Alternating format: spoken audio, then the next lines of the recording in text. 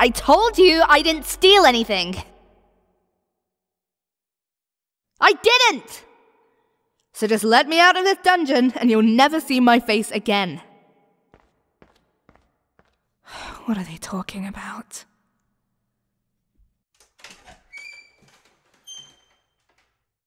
Follow you?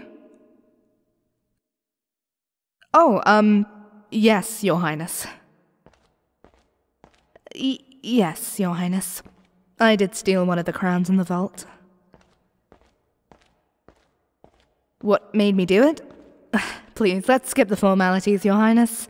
I know you and your family don't care about the common folk at all. Is the royal family really going to freak out about one of their precious, pretty crowns missing? I wish I had those types of problems. Just let me get out of this place, and you'll never have to see a petty commoner ever again. Fine. I didn't know you were so persistent. I guess no one's ever told you the word no before. Your father, the king. He's a tough man to convince, let alone be asked for help.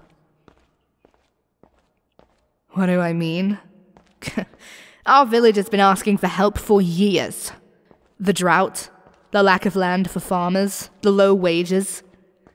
We work all day long, just to receive little to no pay. And now, most of them are leaving the village to work for nobles because they would get paid higher. Do you think that's fair, Your Highness? Where are we? The room for servants?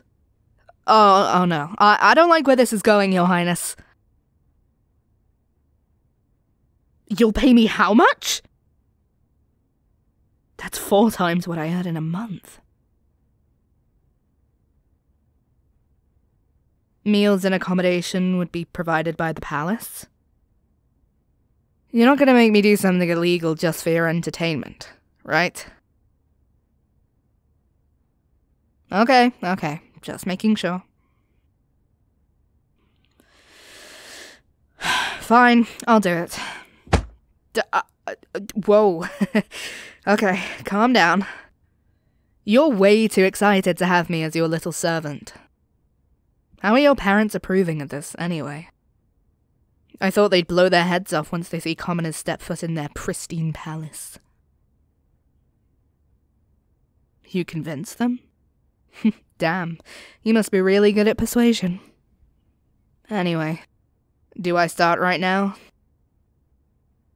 It's pretty late already. Oh, do I need to tuck you into bed? Is that part of my job? I guess not. So I start tomorrow then? Kind of. What does that mean? You'll take me on a tour of the palace.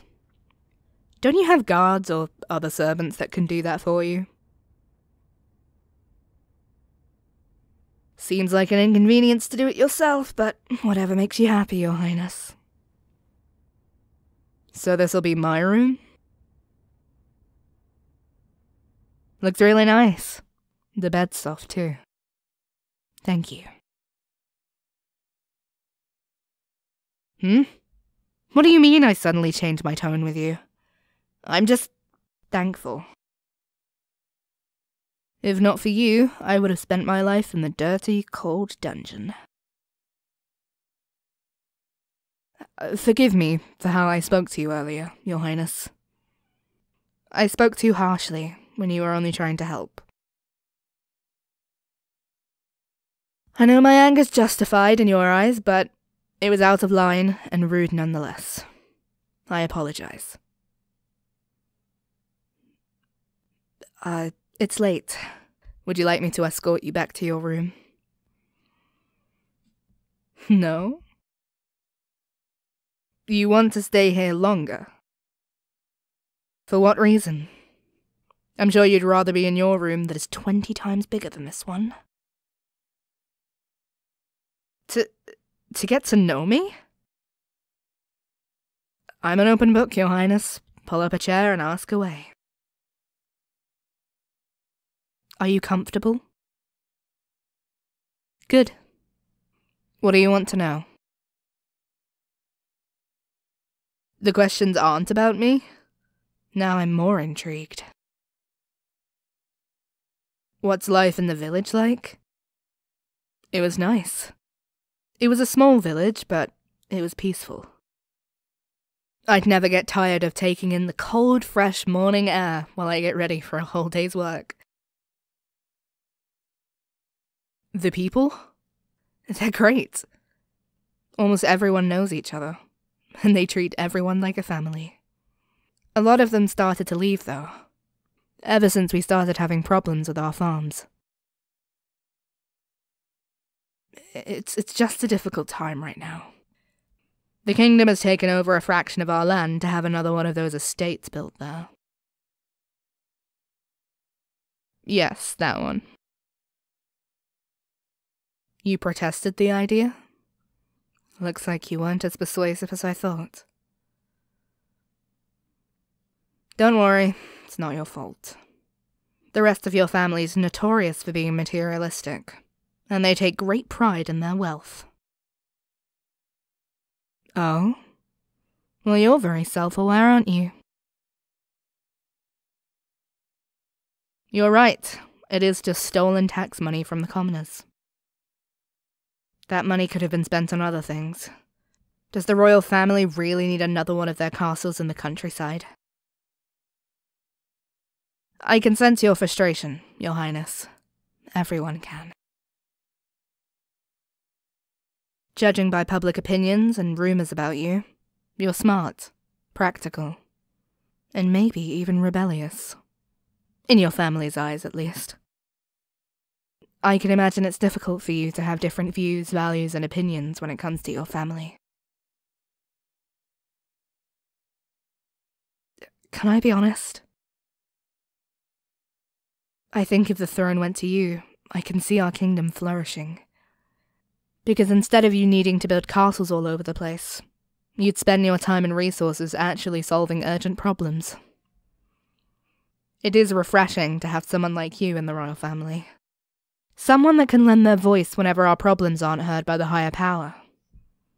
Someone that always has a solid plan. Granted, they never listen to you, but the effort's there. Next year, you're going to be officially crowned, right?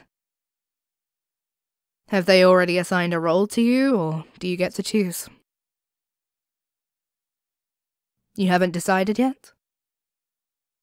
It's alright. You still have a bit of time to do that. I know you're going to do great things. Word goes around fast, Your Highness. Seems like you're always in action. You're always there to the rescue after a crisis, and always coming up with solutions to make your people's lives more convenient. It's just a breath of fresh air. Finally, a monarch that actually cares about people and isn't afraid to do some physical labor. I've always admired that about you. Well, yeah, everyone admires you. Some people may hold a resentment towards monarchy, but not you. You're their hope. Someone who will stand up for the commoners. Why do you think they haven't tried abolishing the monarchy yet? you may not be the next successor to the throne, but a lot of people look up to you. What do I think of you? I don't know you that well, Your Highness. This is the first time we've met. First impressions? You're alright. Yeah, just alright.